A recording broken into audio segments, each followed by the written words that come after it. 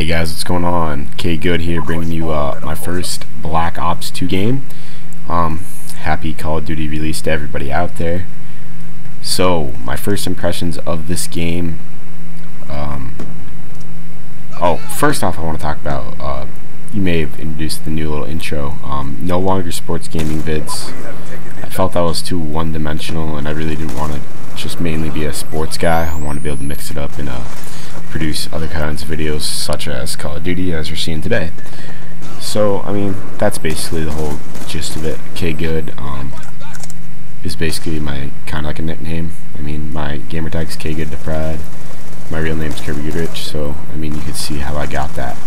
But anyways, uh, what we really want to talk about today is the new Black Ops 2. So, um, basically I picked this thing up at midnight and I was, I was back home playing by one. I mean, I was one of the one of the first in line. But anyways, um, the maps, uh, as you can see here, this is a quite unique map. Pretty pretty good size. You know, um, has good. Uh, how would I word this? uh, uniqueness. I don't know. I don't really know what to call it, but it, it has it, it has its features for every type of player. Each map kind of really does. You know, it's got a spot for snipers. It's got a spot for close combat. It's got a spot for uh, like assault rifles, that medium range type type spots. And you see here, this map's called Cargo, and basically, you know, as it describes, it's just cargo. You're on a cargo dock, I guess. I think it's a dock. Um, yeah, a lot of these maps um, are pretty pretty unique, um, and they actually do have they have a few smaller ones, but they actually have some pretty good size to it, and that you know really gets your sniping in uh, close quarters combat along with the medium range, and it really has it all, which is uh, which is good. It's not just a run and gun map where people are just MP7 or shotgunning, you know, like a dome or something like that, like we, you know, we used to have in MW3.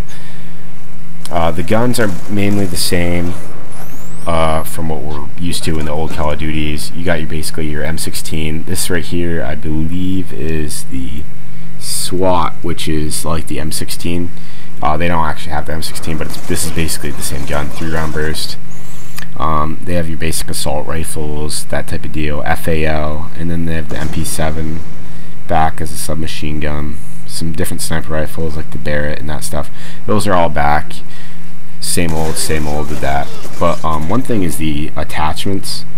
They have a few more attachments that are different. You know, these different sights, such as like a a sight that turns red when you're on the enemy and, and stuff like that and it's kind of interesting. But the thing about uh, getting these all these new guns and stuff is you unlock them, but you have to you have to buy them just like at Black Ops. And how you basically are able to unlock them is you get an unlock coin.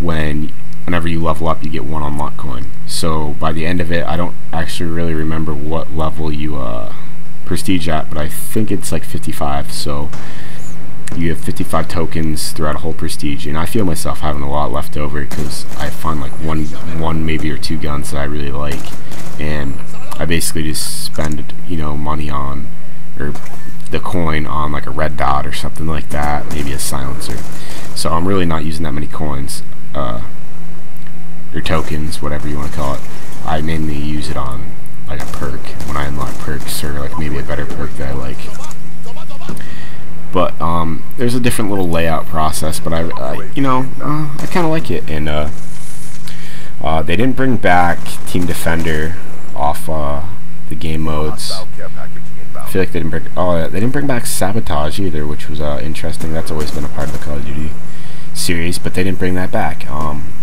I'm trying to think. Do they have any new ones? Oh, uh, yeah, they have a Hardpoint, which is like headquarters but uh, without the respawn time. And then they also have a multi-team, which is 3v3, or uh, no, three teams of three, excuse me. And it's basically like headquarters, and you uh, go and try to capture the point, and basically uh, in the allotted time, I believe, whatever team is winning at the end is uh, is with a winner. And basically, I've only done that one time, and for some reason, the other teams had the two other teams had three people, but my team only had two, so we were playing a man down, and we basically got our shit wrecked. Um, but this game is uh, it's I'm actually really happy with it. Other people that I've heard mixed uh, mixed emotion feelings about it. You know, some people really like it, some were really disappointed. Um, some are calling it basically it's like a Call of Duty and Battlefield mix, so they're really enjoying it. But uh, I mean, me personally, I really like it. I had my struggles here. Um, I quit early. I, I went to bed around five because I was getting a little pissed off at the game. I had a good KD going. I was rolling like a two in the twos, and then all of a sudden, like from four o'clock to five o'clock, I just hit this slump where I was just tired and just wasn't getting anything. My KD took took a hit. I was down in like the one sixes or something like that.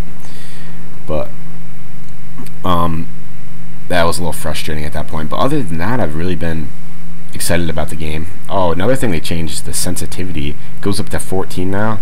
I originally only went when I was going through my sensitivity uh, when I first got the game. I put it on 10. And I felt it was a little slow, and I was like, and then eventually somebody pointed out it was like talking to me about how they're like, you notice how the sensitivity goes up to 14? And I was like, what? Are you kidding? And then lo and behold, it goes up to 14. And but uh, I actually found myself going down. I'm trying to lower myself down a little bit. I feel like I was moving a little too quick, and I was kind of missing some shots that I used to be able to hit.